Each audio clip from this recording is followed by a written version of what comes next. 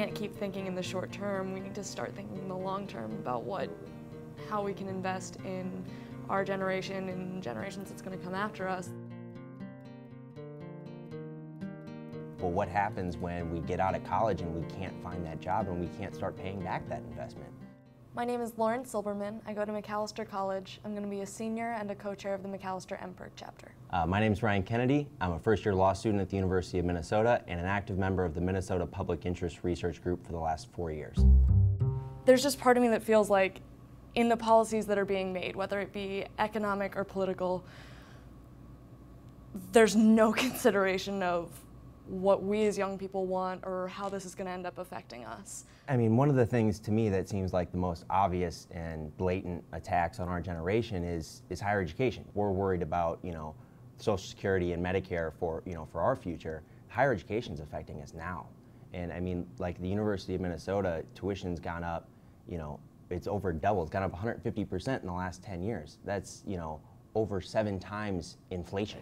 But at the same time, if you don't have that college education, it's so much harder to get anywhere yeah. in this country. Yeah, and no, you make a great point. You know, it is, you know, without a college degree, you can't really do much. And, and now it's almost becoming to the point in this economy that even with a college degree, it's, it's pretty hard to find a job that's going to pay you, you know, a, a good living wage and give you, give you solid benefits.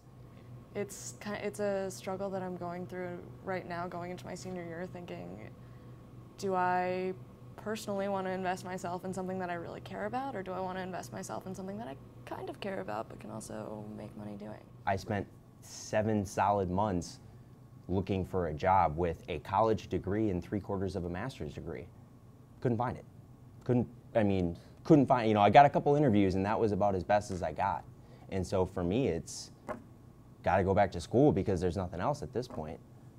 Talking to my friends, it's not a matter of applying to five or 10 jobs, it's if you don't apply to 70 or 80 jobs, you will not get one or two interviews. Right. And I'm lucky that I still have one more year in college, um, kind of working through it. But and I mean, I, I know that that's kind of just part of the process. Well, and we always get told it's you know it's an investment in ourselves, and of course you know we're investing in our future and future wages, and and you know, and that's great.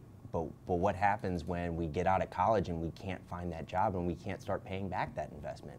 I mean, you know, where our, our student loans are turning into mortgage-backed securities. It's funny, a lot of that doesn't even take into account the fact that uh, or people of our generation are switching jobs six or seven times, I think is the average. But we can't keep thinking in the short term. We need to start thinking in the long term about what, how we can invest in our generation and generations that's going to come after us. The short-term solutions are what, in, large part, are alienating young people.